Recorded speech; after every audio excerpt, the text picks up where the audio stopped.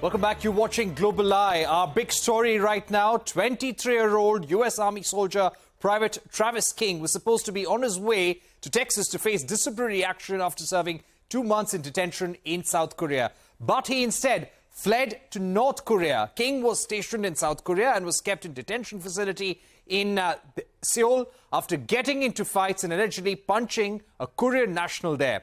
After receiving a prison sentence, he was called back to the United States for disciplinary action, where he said to have fled and joined a group tour of the demilitarized zone. It is claimed that he crossed over to North Korea from here.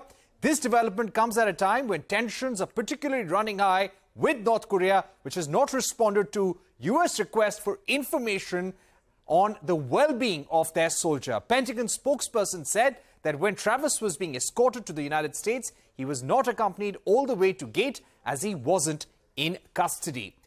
Nobody anticipated that he wouldn't be getting on a plane to go home. Let's now discuss this with James Fretwell, analyst at uh, NK News. He's joining us to explain this big global story. Why did this happen? And how the US would be reacting to it in the days to come, considering that uh, there are no diplomatic relations between US and North Korea. James, uh, why did this happen, according to you? And does the US have any information about the condition of the soldier right now? Uh, to answer your question, why did this happen? Uh, we still don't know yet because we haven't heard anything from North Korea uh, on the status of Travis King, and the US hasn't been able to uh, contact North Korea to ask about King either. So we're still going to be waiting for details on this. There's a lot of speculation um, that maybe, uh, as you mentioned earlier, that uh, King was uh, perhaps face, facing disciplinary action uh, on his return to the US uh, as a result of uh, his charges in South Korea. And um, if you look back to the Cold War, actually, there were um, a number of US soldiers that also um, went to North Korea that were facing uh, disciplinary action in the US military. They went to North Korea because they were frustrated with the American military or they sought to avoid this punishment. Uh, that's one possibility, but it's all speculation at the moment. We, we just don't know for certain. Right. Uh, there are established hotlines between the two countries. Uh, what would the U.S. be trying to do at this stage? Is it important for the U.S. to get back the soldier? Would they seriously negotiate for him?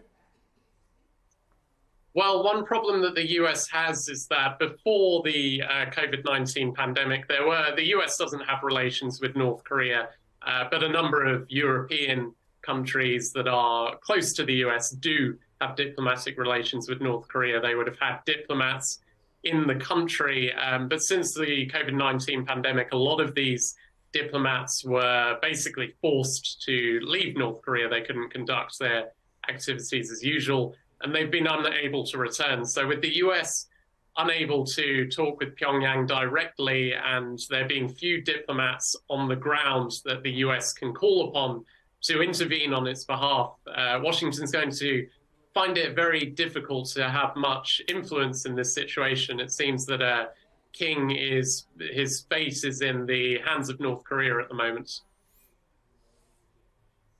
Uh, James, do you get a sense that North Korea, and has this happened in the past, that North Korea could use this soldier, Private Travis King, for propaganda purposes? And considering that he was in the US military, as we know from 2021, would he have access to sensitive, sensitive information? Could the information that he has be of any use to North Korea? So, in terms of propaganda usage, that is definitely a possibility. Of course, in the Cold War, when the um, there were there were five um, or six potentially American soldiers that went to North Korea, defected to North Korea, and the U.S. Uh, sorry, North Korea used these American soldiers in uh, movies, for example. They cast them as evil Americans in their propaganda films.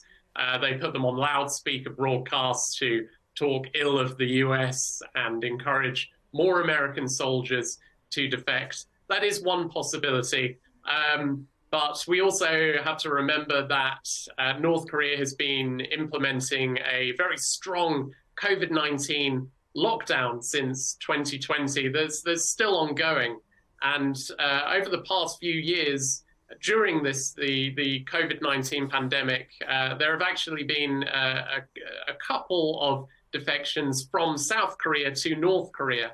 Now, in the past, North Korea might have really played this up for propaganda value, but actually it, it kind of glossed over them. And one possibility is because actually it doesn't want to encourage more crossings at the moment because of COVID 19. And so, uh, in, in Travis King's case, uh, again, uh, potentially they, they might want to downplay this case because uh, they, they don't want more uh, people entering the country unauthorized.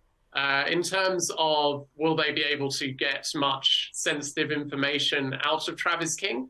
Uh, he was a relatively low rank in the US military. Uh, North Korea will definitely interrogate him for any possible information anyway, and uh, King might be able to provide them with a few useful details, but but maybe nothing uh, nothing too groundbreaking this interrogation process actually, hmm. again, uh, to bring up the COVID 19 pandemic, the interrogation process might take a while because uh, North Korea might put uh, Travis King in some kind of quarantine before they uh, properly interrogate him. All right. So even if, if, North Korea does intend to release him, it might be uh, it, it might be a while to come. Right, uh, James Fretwell, thank you very much uh, for joining us from Seoul, explaining us the situation on the ground and what this could mean for the United States as well. Thanks once again for being with us. Let's uh, now shift focus to the other